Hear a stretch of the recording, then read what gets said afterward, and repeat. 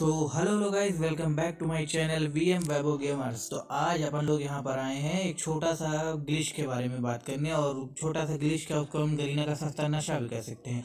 तो कल जैसे कि आप सब जानते हैं थर्टी फ़र्स्ट को हमारे रैंक सीज़न का सीज़न ट्वेंटी फाइव स्टार्ट होने वाला था।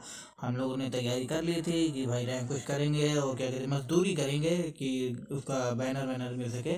तो हम लोग बढ़िया ढाई बजे तक बैठे रहे, कहीं सीज़न स्टार्ट ही नहीं हुआ। सीज़न स्टार्ट होने में बहुत टाइम लग गया, पहले ऐसा नहीं होता था। और कल रीज़न स्टार्ट होने के बाद भी अगर दो मैचेस के बाद हम लोग गेम वो चलना ही बंद हो गया रैंक लोगों ने काफ़ी कोशिश की लेकिन नहीं चला। उसको इन लोगों को ठीक करने में ही चौबीस घंटे लग गए। ये सस्ता नशा गरीना जो करके बैठी इसके बारे में आप क्या कहना चाहेंगे? अपना राय कमेंट सेक्शन में दे सकते हैं। और मैं बता दूँ कि अगर इसी तरह चलता रहा तो हम भी किसी दिन ये गेम डिलीट करके निकल लेंगे आराम से। मजदूरी में कोई फ़ायदा है नहीं और ऐसे ऐसे ग्लिच आते रहते हैं। लेकिन हाँ टॉपअप इवेंट में कोई ग्लिच नहीं होगा। आपको ये देखिए, कल गया, रात के बारह बजे नया टॉपअप इवेंट आ गया। लेकिन आज कल जो रैंक सीज़न के साथ ग्लिच हुआ, वो आज सही हुआ। एक दिन बाद हम लोग तो भाई क्या बताएँ, पूरे दिन गेम ही नहीं खेले इसी चक्कर में।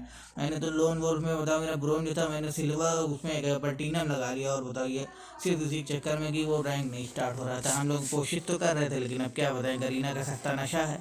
गरीना इन सब चीज़ों में पैसा इतना जानता है कि टॉपअप में इतना पैसा लेंगे इंडियन सर्वर से, लेकिन बाकी अगर इंडियन सर्वर में कोई ग्लिच है तो एक दिन लगेगा। और ब्राज़ील सर्वर में कोई भी ऐसा ग्लिच होता है या कहीं और ऐसा ग्लिच होता है, फट से सही हो जाता है, एक दिन नहीं लगता है, एक समझ लिए घंटे भर का काम रहता है। तो इंडिया इंडियन मॉडरेटर जो है, ये बहुत बड़ा सस्ता नशा करके बैठे हुए हैं। इनको अगर अगर आप चाहते हैं कि ये सब ना हो, ऐसा ग्लिचेस के बारे में आपको जानकारी मिलती रहे तो मेरे चैनल को सब्सक्राइब कर लीजिए और मिलते हैं आपसे अगली वीडियो में। Thank you take care bye bye